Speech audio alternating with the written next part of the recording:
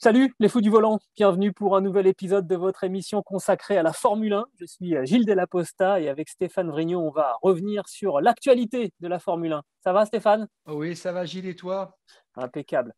Ce podcast est à retrouver sur toutes les bonnes plateformes d'écoute, de Deezer à Spotify, en passant par Acast ou par Apple Podcast. N'hésitez pas à nous donner 5 étoiles et puis à vous abonner. Et de cette manière, vous recevrez les nouveaux épisodes directement sur votre smartphone. La Formule 1 était au Portugal le week-end dernier pour négocier le troisième rendez-vous du championnat sur le circuit de, de Portimao.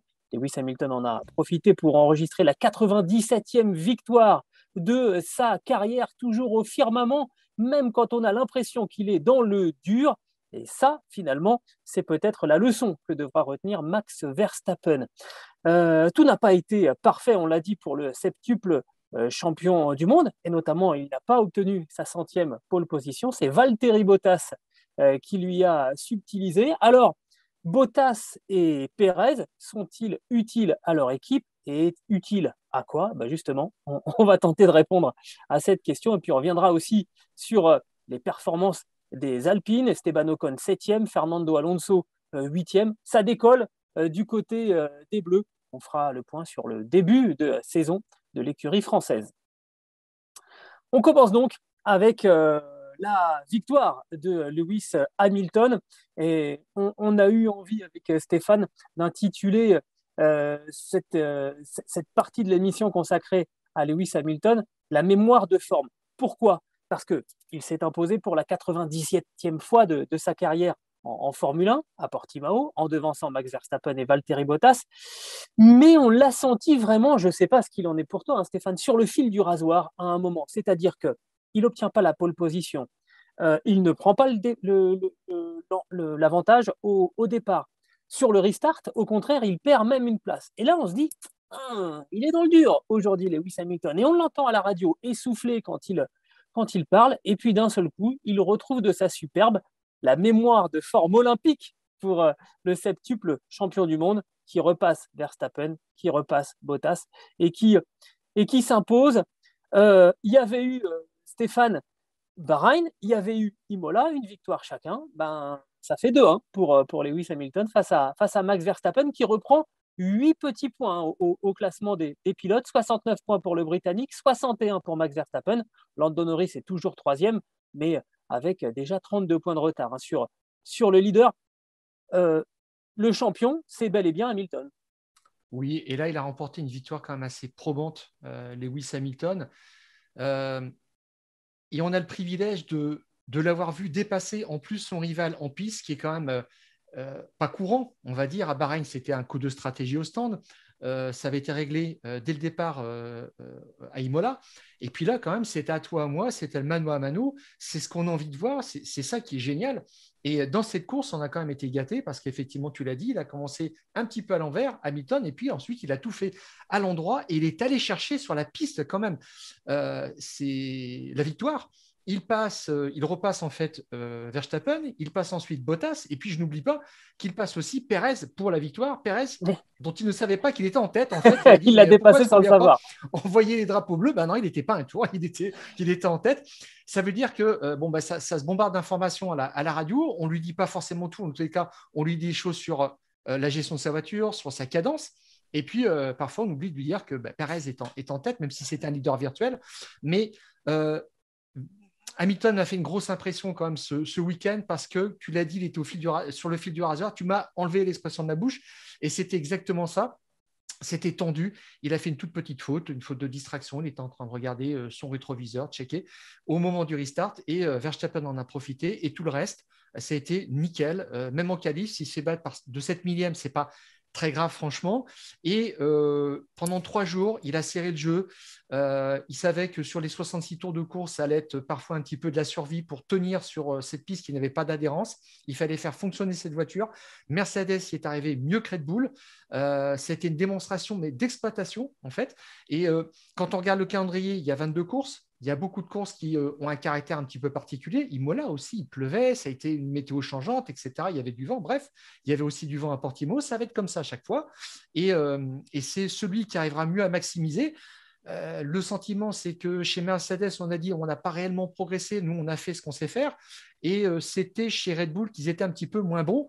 Mais j'en retiens que il y a la prime en fait à l'habitude qui ressort de, chez Mercedes de, de, mener des courses, de faire des, des, stratégies vraiment ciselées. Et c'est ça encore qui ressort, en plus de la maestria d'Hamilton.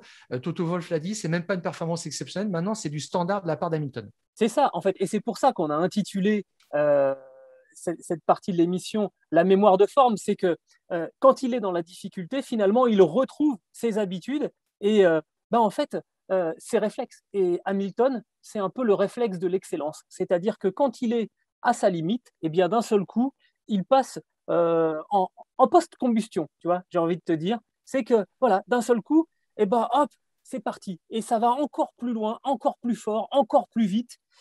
Et, ça, c'est une étape, euh, évidemment, euh, qu'aucun autre euh, n'est habitué à, à, aller fréquenter. Et, surtout, ben, son principal adversaire pour le titre, Max Verstappen, pour l'instant, il n'a pas l'habitude d'aller dans cette, dans cette zone où finalement, jusque-là dans sa carrière, il faisait des coups, parce que la voiture était, en retrait. Et là, d'un seul coup, bah, il faut réciter une partition absolument, parfaite. Euh, et euh, ça représente quand même une, pesanteur euh, qui est nouvelle pour, Max Verstappen, mais qui est habituelle pour, pour Lewis Hamilton. Et je crois que tu as des chiffres hein, justement pour nous montrer que bah, le Britannique, il est habitué à cette excellence. Oui, alors Mercedes, qui aime de plus en plus quand même les records, et, il est rappelé, a signalé dimanche que c'était la 122e fois, nouveau record, qu'Hamilton était numéro un mondial. Euh, C'est-à-dire leader au, classement des pilotes. Hein. C'est ça. Euh, voilà, on compte une place de, numéro mondial après euh, un Grand Prix.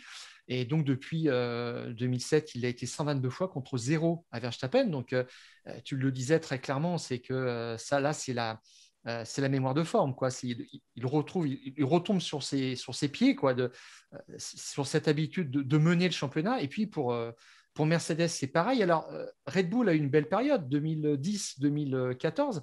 Ils ont été en tête du classement euh, du championnat constructeur 63 fois contre zéro euh, à Mercedes. Il revenait à la Formule 1. Et puis, depuis 2014, l'inversion est, nette.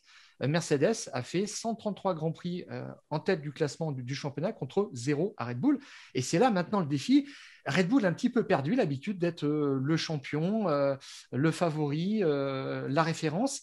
Et c'est ça qu'ils doivent aller chercher. Et c'est ce que je pense Verstappen a un petit peu senti. La Verstappen a compris vraiment ce week-end ce qu'il fallait faire pour être un, numéro un mondial, pour viser le titre. il a encore du boulot. c'est ça. Hein. Je ne sais pas si tu as eu cette même impression que, moi. Alors, pas tant pendant, pendant la course et après la course, mais après la qualif, où donc son, chrono est annulé parce qu'il est sorti des limites de, la piste. Et euh, il a un petit geste d'humeur euh, après euh, la fin de la, Q3 vis-à-vis du, caméraman. Il lui demande de ne pas, de pas le filmer pendant qu'il est en train d'échanger avec, avec Sergio Pérez. Et là, on sent que d'un seul coup, il cerne que tout Max Verstappen, qu'il est extrêmement talentueux, hein, vraiment, c'est vraiment un pilote hors pair, mais qu'il va falloir encore aller toucher euh, quelque chose de plus pour être, pour être euh, l'élu. Tu sais, pour reprendre une image euh, dans Matrix, quand tu vois Neo s'entraîner à se battre, et puis d'un seul coup, il se met à faire des gestes où tu vois même plus ses bras, et où lui, en fait, il regarde ailleurs. Bah, tu as l'impression qu'Hamilton, c'est l'élu, en fait, que lui est capable de passer à ce stade-là, et que, et que pour l'instant, bah, Max Verstappen n'y est, pas, est pas encore tout à fait, et qu'il il, il, en fait, il mesure le chemin qui lui reste à parcourir pour faire jeu égal avec, euh, avec, euh, avec Lewis Hamilton. Et, à la fois, euh, je pense qu'il y a un moment de découragement et en même temps, je pense qu'il se dit, voilà, ça y est, je touche à quelque chose là. Il a compris quelque chose. Il s'est mis dans le rouge quand même pendant trois jours et ce qui lui fait mal, c'est qu'il n'est pas parvenu à battre Hamilton. Tu parlais de cette erreur en qualif qui lui a peut-être coûté un chrono qui valait la pole position à sa descente de voiture, il dit bah oui, la voiture a fait une petite glissade de l'arrière et j'ai pas trop compris pourquoi. Et Red Bull le protège tout de suite en disant ah c'était un rafale de vent. Les rafales avaient bon dos aussi quand même ce week-end. Hein. Euh, Nico Rosberg en a particulièrement douté. C'est lui qui a mis un petit peu les, pieds dans le plat. Euh, mais Red Bull fait du Red Bull à ce niveau-là parce qu'ils le, il le soutiennent mordicus. On a vu aussi euh, il a fait une erreur. Là aussi, c'est pareil. Il était sur le fil du rasoir pour le meilleur tour en course. il prend large dans le numéro 14. Et euh, la FIA avait bien signalé dès le vendredi soir que ce, virage s'ajoutait comme le numéro 5, je crois, à la liste des, virages sous surveillance et où on considérait qu'un euh, passage large était euh, donné un avantage compétitif. Et Verstappen dit bah, J'étais pas au courant, tout simplement, qu'on pouvait passer aussi large. Bon, ça lui coûte un point quand même au, championnat. Donc, ça, c'est fait. et, en course aussi, bah, tu as vu à la vitesse à laquelle il arrive dans, les stands, il était pendu, quoi. Il pile, mais à mort. Ah les, deux roues avant, on dit là, il va prendre euh, une sanction pour Ça n'a pas dû passer loin. exactement, exactement, ça n'a pas dû passer loin. Et en fait, il, a, il était au taquet, mais à mort, mais partout. Il fait un arrêt de 1,98, c'est-à-dire que euh, Red Bull aussi fait, est, super efficace là-dessus. Alors que euh, chez Mercedes, on sert Hamilton en 2,58, ça fait 6 dixièmes quand même d'écart. Hein. Tu vois ce que ça donne dans une ligne droite à 300 km/h bah, Ça donne 4-5 longueurs d'avance. 6, euh, dixièmes, c'est quand même pas rien. Ah, ça veut dire que de retour en piste, ça se joue à ça. Ça peut se jouer à ça. Et d'ailleurs, c'est ce qui a permis euh, à Verstappen de passer finalement, de mettre la pression, un coup de pression tout de suite à Bottas et de le passer. Donc là-dessus, ils étaient au taquet, mais ça n'a pas suffi. Et ils ont été un petit peu de, mauvaise foi parce qu'on sent que ça les soulage un peu quand ils ont perdu. ils ont mis encore en cause euh, les, bacs à gravier. Alors, euh, il l'a traité un petit peu sous forme d'humour parce que on sent aussi, ça c'est nouveau Verstappen, qui ne s'énerve pas, qui ne disperse pas d'énergie dans des, dans des polémiques en en rajoutant, en, montrant sa colère. Il a juste dit, bon, c'est une blague, voilà. Mais euh, je rappelle une chose quand même, c'est que les, bacs à gravier ont tendance à disparaître parce que les promoteurs des circuits veulent homologuer euh, leur installation pour la Formule 1 et la moto. Et la moto pousse pour avoir plus de, dégagement euh, bitumé. Et c'est la tendance des circuits modernes. Ah, tu vas mettre ça sur le compte des motards maintenant Non, pas exactement, mais c'est du réalisme économique tout simplement. Et on, se retrouve avec euh, des circuits un petit peu mixtes qui doivent convenir aux quatre roues et aux deux roues, euh, bah, ce que je comprends aussi. Hein. et on, se retrouve dans ce schéma-là. Alors sur un circuit à l'ancienne comme euh, Kobe Mola, il reste des bacs à gravier qui n'étaient pas très très profonds. Hamilton s'en est sorti. bon, si Verstappen réclame ce, ce, genre de choses, je ne suis pas sûr qu'il soit gagnant. Non, c'est sûr c'est sûr. Euh, après, euh, pour en terminer euh, là-dessus, je pense aussi que la Red Bull, ce week-end, était en difficulté. Hein. Clairement, cet enchaînement des virages 14 et 15 qui conditionne la, ligne droite, la Red Bull les passait moins bien que, la Mercedes. Et c'est évidemment là qu'il fallait être très très fort. Et ça a posé des soucis de vendredi matin jusqu'à dimanche après-midi à, à, Max Verstappen. Il faudra voir ce que ça donnera en Catalogne parce qu'on se retrouve dans une configuration sur la fin du circuit avec deux virages à droite. Alors là, on est encore plus arrêté. Hein. On est vraiment totalement arrêté quand on ressort de la deuxième chicane à, Barcelone. Mais euh, faut espérer pour Red Bull qu'ils aient la, solution parce que sinon, euh, ça, risque de poser des, des, problèmes à Max Verstappen et aussi à, Sergio Pérez. Mais là, il faut bien reconnaître que sur cette, on va dire sur cette euh, deuxième moitié de course à Portimao, euh, la mémoire de forme de Lewis Hamilton était stratosphérique. Celle de Max Verstappen est encore un apprentissage à ce, à ce niveau-là. On va passer, si tu le veux bien, au cas de Valtteri Bottas et de Sergio Pérez, dont leurs patrons respectifs passent leur temps à nous dire qu'ils sont très utiles à, leur équipe. Et puis, parfois on, en vient à se demander, oui, ils sont utiles, mais à quoi euh, exactement? Alors, on va prendre euh, bah, les prestations euh, de l'un puis de l'autre, en commençant quand même par, par Valtteri Bottas, qui avait très très bien commencé ce, week-end. Alors, moins bien vendredi, mais en tout cas samedi, il arrive à devancer Lewis Hamilton en, qualification pour obtenir la, pole position. Bon départ de course, il conserve l'avantage. safety car, nouvelle relance, il conserve de nouveau la, première place. Eh, pas mal, bon début de course pour, euh, pour Valtteri Bottas. Et puis après, eh bien, ça s'est euh, gâté. Euh, il n'a pas pu résister à, Lewis Hamilton. Et sous la pression de, Max Verstappen après le, passage au stand, il lâche aussi la, la, deuxième place et finit donc uniquement troisième. Encore une occasion manquée pour, pour Valtteri.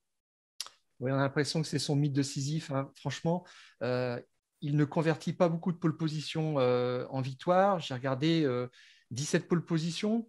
ça aboutit à 5 victoires en tout, 6 deuxièmes places, des troisièmes places, des abandons aussi. Mais quand on regarde aussi la façon dont il commence ses courses, là, dimanche, c'était vraiment ce qu'il sait faire, c'est-à-dire que sur ses 17 pole positions, il en a euh, transformé 12 en leadership au, premier virage. Donc, ça veut dire qu'il sait euh, démarrer. Il n'y a, pas de souci là-dessus. C'est un peu plus tard dans la course qu'il use un petit peu plus ses pneus. Et euh, c'est là-dessus que Hamilton fait la différence. Et sur un undercut, bah, il, se fait, avoir, tout simplement. Il est rentré au stand assez rapidement quand Verstappen a chaussé de nouvelles gommes. Mais ça n'a pas suffi. Et c'est là-dessus, en fait, qu'il flanche sans arrêt. C'est un petit peu dommage globalement, il part en pole position quand même. Euh, il arrive à, battre euh, Hamilton, euh, là, par, surprise, 7 millième. Hein, c'est pas grand-chose, mais il, était devant.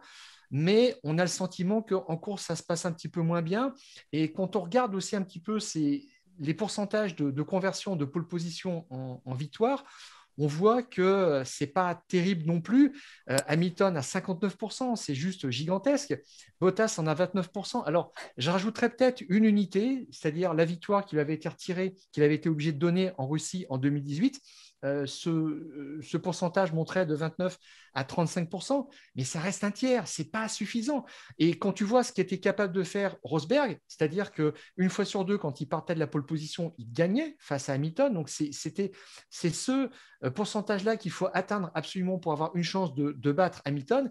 Et bah, Bottas essaie de faire du, du Rosberg, essaie d'être le nouveau Rosberg chez, chez Mercedes, et on a le sentiment vraiment qu'il n'y arrivera jamais.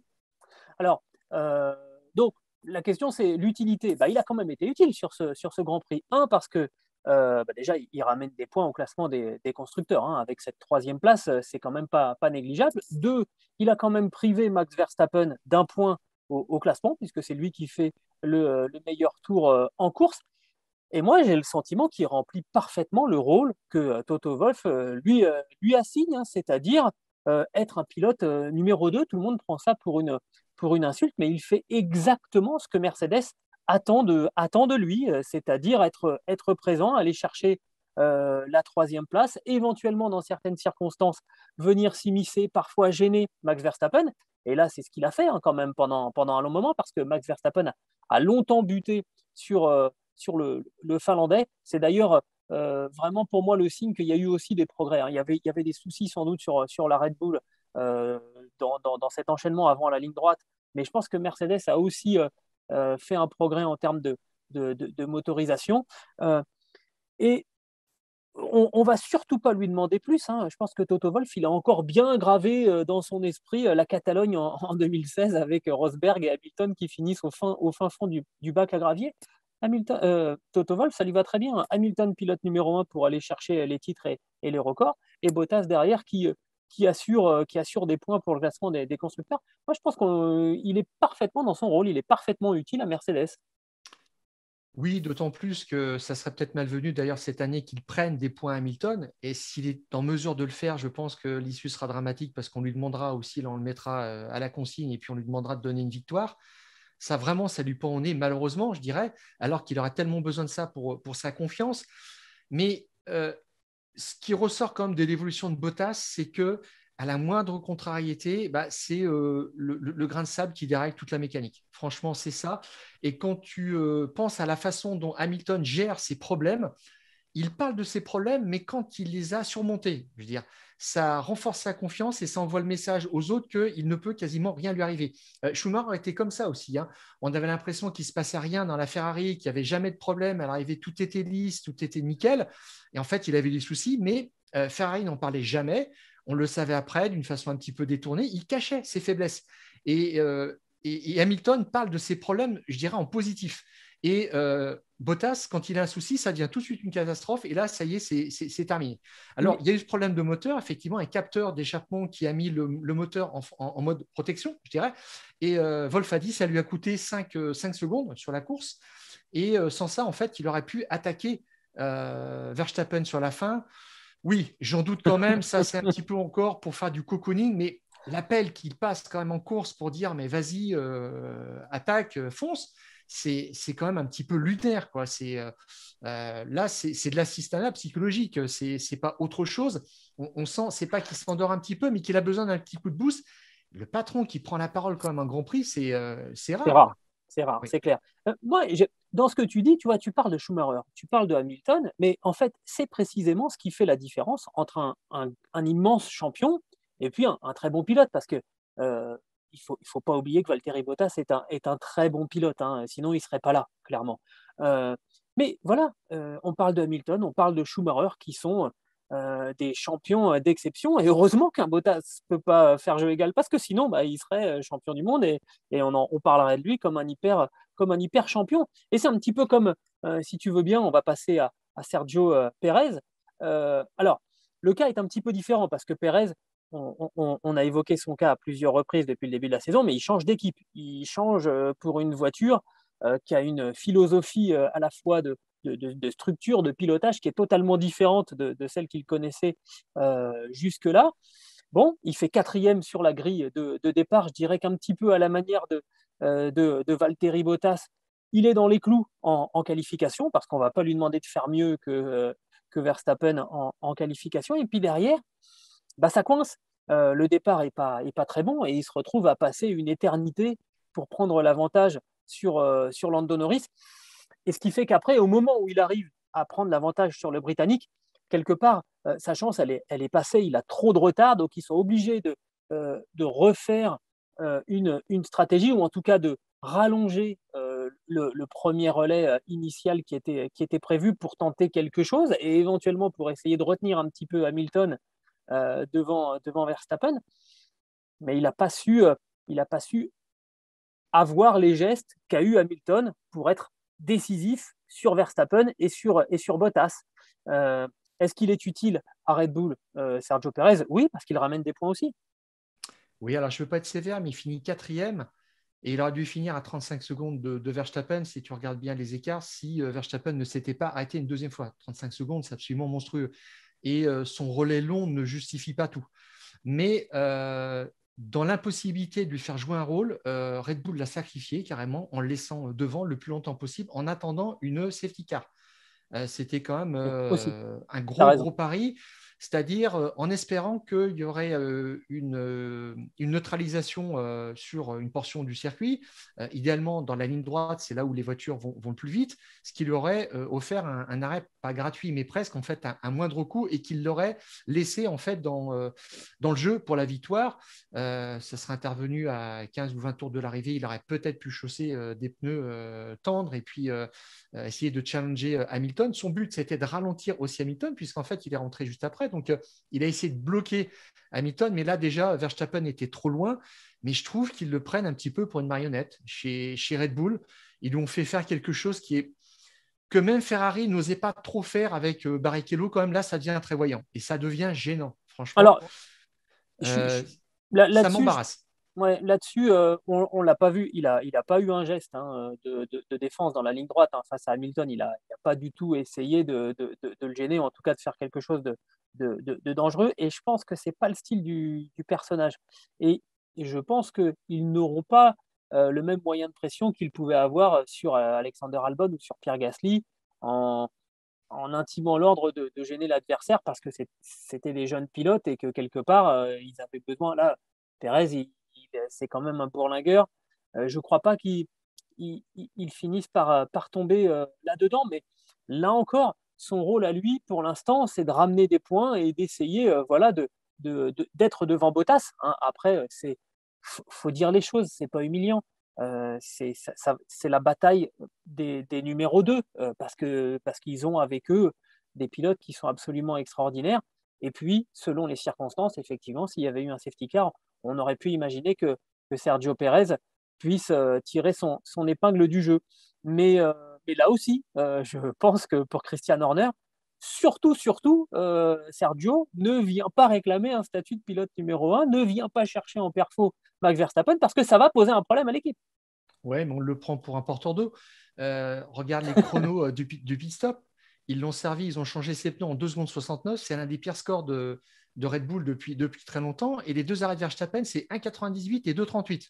Donc même quand Perez arrive, euh, on a l'impression qu'on dit chez, Red Bull, non mais vous inquiétez pas les gars, pas de panique, c'est juste Perez qui arrive, pas de problème. Voilà. Et quand c'est euh, Max qui arrive, là c'est bras bas de combat. Donc ça sera toujours comme ça, malheureusement. ce qui fait un petit peu peur, c'est qu'il a un contrat que d'un an. Donc, je ne sais pas ce qui doit se passer en sa tête, mais il n'arrive pas à donner des cautions vraiment fortes pour essayer de faire un gros coup. Parce que le jour où Verstappen gagne, ça voudra dire que la Red Bull est la meilleure. Et là, on attendra, on dira, mais où est Perez? Et, elle, a déjà gagné. Et oui, mais son, résultat aura de la valeur s'il est deuxième. Et c'est ça qu'on attendra parce que finalement, euh, il faudra qu'il prenne des points aussi euh, à Hamilton et pas seulement à, Bottas. Et c'est ça son but euh, dans un second temps. Pour l'instant, bah, c'est un échec complet. Hein. c'est dur, c'est dur ce que tu dis là. Il n'avait pas été bon à Sakir en, en qualif. Il était très bon en course. C'était l'inverse à Imola, mais là, il était nulle part, vraiment, en course. C'était inquiétant. Et là, euh, on n'a pas retrouvé le Pérez qu'on connaît, mais euh, franchement, le compte n'y est pas. Il a essayé de jouer un rôle, euh, il n'y est pas parvenu. Comme tu dis, il est, clean, il a laissé passer Perez, Hamilton, il ne veut pas faire d'histoire. Mais je dirais qu'il est, c'est comme s'il était un petit peu rentré dans le rang.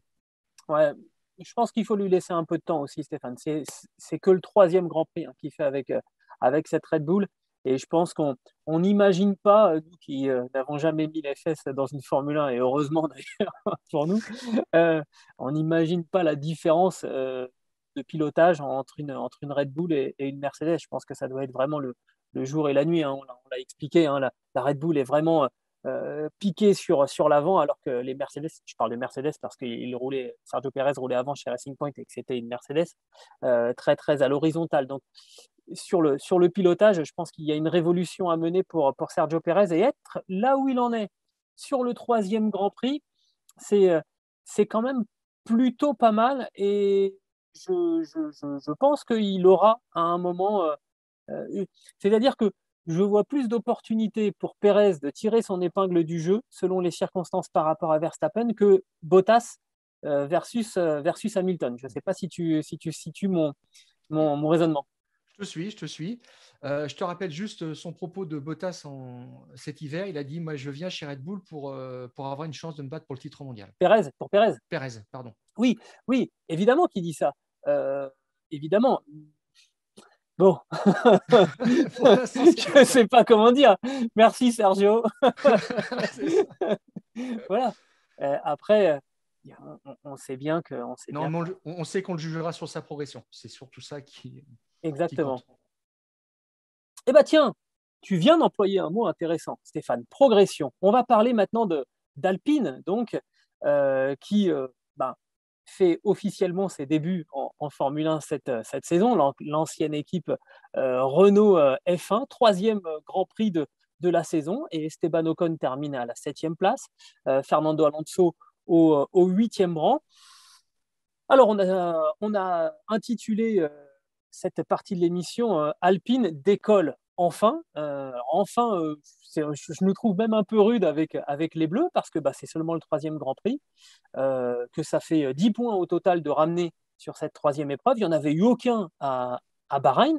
Il y en avait eu trois petits à, Imola, désormais 10. On voit bien quand même qu'il y a, une, ascension, en tout cas une accélération, une montée en régime. Voilà, je cherchais le mot pour reprendre une métaphore mécanique de la part d'Alpine. Euh, qui avait eu des soucis euh, avec sa soufflerie pendant, pendant la préparation de, la saison. Alors ça a fait un petit retard à l'allumage. Alpine est désormais cinquième au classement des, constructeurs avec un total de 13 points. Bon, il y a quasiment déjà 30 points de retard hein, par rapport à, la Scuderia Ferrari sur la, sur la quatrième place. Mais on a vu des choses quand même qui sont très très intéressantes. un super vendredi euh, pour Ocon et, pour Alonso. Ocon qui a confirmé en qualification samedi. Alonso a un petit peu coincé en, en qualif. Et derrière, en course, ça a été intéressant. Je reviens juste sur l'aspect comptabilité, si tu me permets, Gilles, parce que euh, je dirais que Alpine fait du Renault. Euh, en 2018, j'ai regardé le total de, Renault après euh, trois Grands Prix, ils avaient 25 points quand même. en 2019 et 2020, Renault avait 12 points et là, ils en ont 13. Donc, on est dans une forme de continuité. Ils ont un petit peu raccroché le wagon de l'année dernière. Ça fait deux fois de suite que les deux voitures sont dans les points. C'était le standard de l'année dernière, il y avait eu euh, huit entrées dans les points pour les, deux voitures l'an dernier et surtout en deuxième partie de saison. Donc là, on, a, repris dans la continuité de, la saison dernière, ce qui est pas mal. Mais en deuxième partie de saison, euh, la voiture était quand même éligible pour le podium et là, on en est un petit peu loin. Mais au championnat constructeur, ce qui est important, c'est qu'ils ont laissé derrière derrière eux, AlphaTauri et, et, Aston Martin. Et je pense que ça va rester comme ça, même si Gasly a dit sur le ton de la déception un petit peu, euh, les Alpines étaient anormalement rapides ce week-end. Mais non, je crois qu'ils ont fait un, boulot euh, fantastique en termes euh, d'exploitation. Ocon, Alonso en ont parlé, même si Alonso a dit on ne sait pas exactement d'où ça vient, mais on a bossé très dur, on a soigné tous les détails, puis après ça vient comme ça. tant mieux. ça me paraît bien, bien parti, même si le départ a été un petit peu moyen. Ocon a laissé une place, je crois que c'était à Norris. Et puis Alonso en a perdu deux, mais ils s'en sont bien remis. Oui, oui.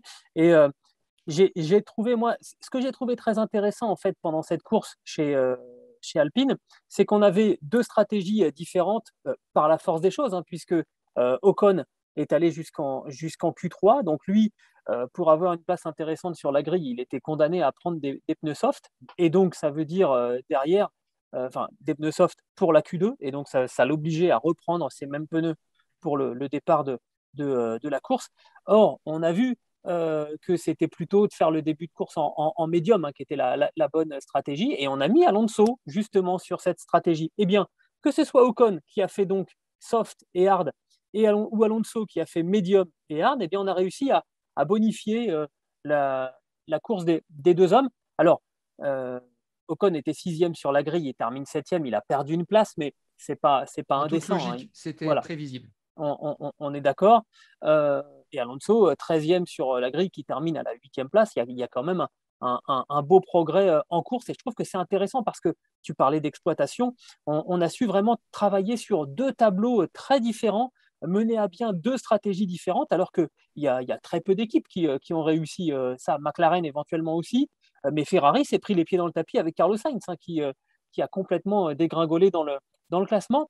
Et il ne faut pas oublier que, alors certes, euh, on, prend la suite de, Renault, mais il y a quand même eu toute une, restructuration dans, cette équipe. Hein. Cyril Abitboul est, est parti. Euh, on voit qu'à l'exploitation, c'est quand même essentiellement Marcin Butkowski qui, est aux, manettes. Il faut aussi un temps euh, d'adaptation, que Fernando Alonso retrouve aussi ses marques. Je ne parle pas des deux ans loin de la Formule 1 pour, pour Alonso parce qu'il était en, endurance il a fait Indianapolis, donc il, avait le rythme encore du, pilotage, mais il y a eu son accident euh, juste avant le début de la saison. C'était un gros accident hein, quand même. Euh, donc il, lui faut quand même un petit peu de temps pour retrouver un peu ses, moyens. Euh, bon, c'est encourageant. Et puis, bah, Esteban Ocon, si tu veux bien, excuse-moi, j'ai fait un peu les choses dans le, désordre. On avait prévu de parler d'abord d'Esteban Ocon. Esteban Ocon, solide quand même, parce que, garçon, il y a un double champion du monde qui arrive dans l'équipe. Euh, ben, pour l'instant, le double champion du monde, il est derrière le, le, jeune, euh, le jeune Français qui est fort en qualif, qui fait pas d'erreur en course. La seule fois où on l'a vu à l'envers en piste en course, c'est quand il s'est fait percuter par Sébastien Vettel, il n'y pouvait rien. Euh, moi, je dis chapeau, parce que là, c'est trois premiers Grands Prix de très très haute volée pour, pour le Français. Oui, Gilles. Alors, si tu me permets une parenthèse, euh, tu as parlé de Cyril Abitboul qui avait pris la porte. Eh bien, il est revenu par la fenêtre. Euh, là, il est euh, désormais le conseiller en stratégie sport chez Mecachrome, qui est en fait un sous-traitant historique étroitement lié aux motoristes Renault qui fabriquent des, des pièces, qui assemblent les moteurs Renault. Il y a même eu des, moteurs Renault qui ont été rebadgés euh, il y a une vingtaine d'années. Donc, euh, il revient un petit peu euh, faire ce qu'il faisait euh, il y, a, quelques années. Donc, il reste dans le business. Donc, on va, on va peut-être le revoir prochainement. Alors, tu parlais d'Ocon. je trouve que bah, c'est assez remarquable ce qu'il a fait. C'est la, la, première petite étincelle là qu'on a vue parce que sixième, c'est quand même pas rien avec une voiture qu'on disait qui avait souffert euh, d'une perte d'appui euh, cet hiver, peut-être plus que les autres voitures, mais un AREC quand même assez euh, prononcé. Donc, elle, plonge aussi de l'avant. Donc, ce n'était pas là que ça se situait, mais ils ont corrigé le, tir au fur et à mesure. Donc, ils se qualifient sixième. C'était pas arrivé depuis 13 Grands Prix, un tel résultat. Donc, là, quand même, maintenant, il a mis l'Alpine là où on pensait qu'elle était et là où la Renault était l'année dernière. Donc, là-dessus, tout va bien. Il a taclé Alonso en, en qualif aussi. Donc, ça, c'est bon pour le moral. Et Alonso, qui a été plutôt sympa avec lui, qui a dit il est travailleur, il est méticuleux, le courant passe bien, on, serre les coudes, on échange toutes les infos. Euh, et puis Ocon dit bah oui, euh, Alonso, il est très gentil avec moi pour l'instant parce qu'on attend un petit peu l'Alonso énervé là pour, euh, en mode champion du monde 2005-2006. On, va le voir revenir petit à petit. Mais Ocon a fait des belles choses et un beau dépassement sur Gasly en course aussi. ça, c'est assez tranchant. Alors, euh, Ocon, il a aussi gagné le respect de, Fernando Alonso parce que c'est bien, d'être gentil, euh, c'est bien de caresser dans le sens du, poil, mais bon, euh, quand on est face à Fernando Alonso, il faut aussi gagner son respect. C'est ce qu'il a réussi à faire.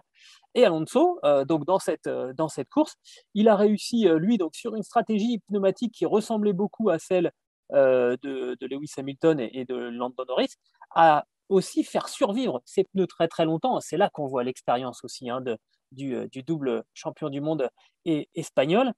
C'est comme ça qu'il est, qu'il est remonté et on a, on a eu le sentiment que finalement, si ce Grand Prix avait eu 20 tours de plus, Alonso aurait continué à accélérer. Euh, oui, et tu le disais, Gilles, les deux voitures, les, deux pilotes étaient contents de leur voiture euh, vendredi matin, et spécialement Alonso. Et ça changeait vraiment. Là, il est, passé à autre chose. Il avait dit sur la première euh, course de la saison, mon objectif, j'avais été vraiment très prudent en tout. Mon objectif, c'était terminé.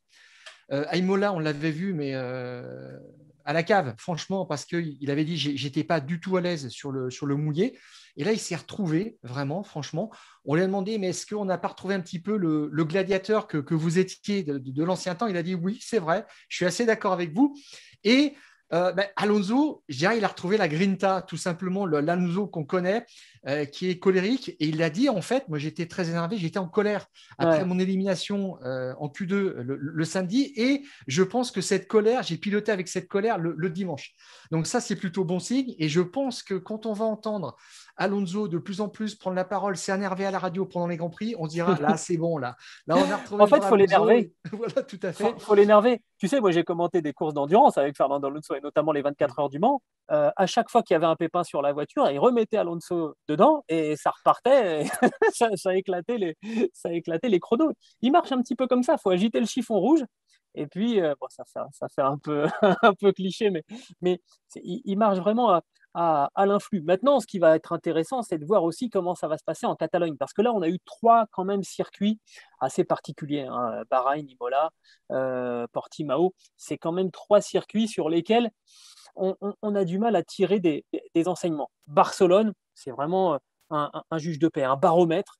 Et là, on va savoir ce que, ce que, ce que vaut l'Alpine. Euh, je pense quand même que toutes les équipes, mais particulièrement euh, Alpine, doit se demander ce, qui, ce que va leur réserver le passage en Catalogne. Et moi, j'attends de voir ce que Alonso va donner à Montmelo parce qu'il termine quand même, Gilles, à une seconde de Con euh, à Portimao. Donc, ça, c'est chaud. Il a senti le vent du boulet. Hein. Ocon, tu dis, oh on rajoute même pas 20 tours, on en rajoute deux ou trois. Et je suis très intéressé de voir ce que ça donne. Et puis, Montmelo, c'est le théâtre de sa dernière victoire en Formule 1 en 2013 sur un, départ euh, vraiment génial, euh, façon euh, jeu vidéo, une victoire extraordinaire.